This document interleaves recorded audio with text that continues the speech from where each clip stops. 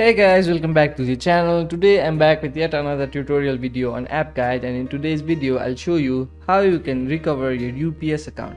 So you have a UPS account that you use to track your packages or send and deliver your packages but somehow you've forgotten or lost the password to that UPS account and you can't figure out how you can recover that account. You've clicked on the right video. Watch this video till the end. I'll show you some simple steps to recover your UPS account. We'll do it in no time. So the first thing you want to do in order to recover your UPS account is open your browser and go to ups.com.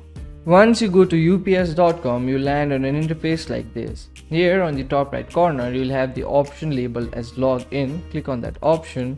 Once you click on that option, you land on the login interface of UPS, but you don't have the credentials to log into your UPS account. So what you want to do to recover your account is click on I forgot my user ID or password option.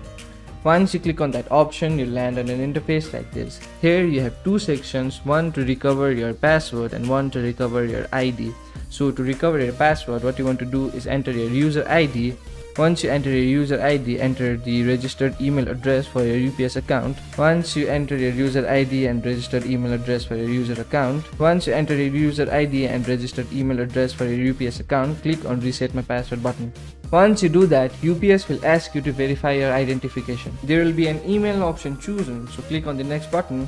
Once you click on the next button, UPS will send a PIN number to your email address that you have registered your UPS account with. So go to that email address and enter the PIN. Once you enter the PIN, click on the next button. Once you click on the next button, you land on an interface like this. Here you'll have the option to create a new password for your UPS account. So go ahead and create a new password for your UPS account.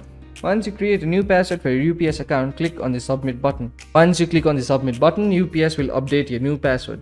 So you have successfully recovered your UPS account. So now you can log into your UPS account using your new password and track the package you want to track or create a new package delivery. So that will be it for today's video. Hope this video was helpful for you. If it was, hit the like button, subscribe to the channel and I'll see you in the next video with some new information. Goodbye.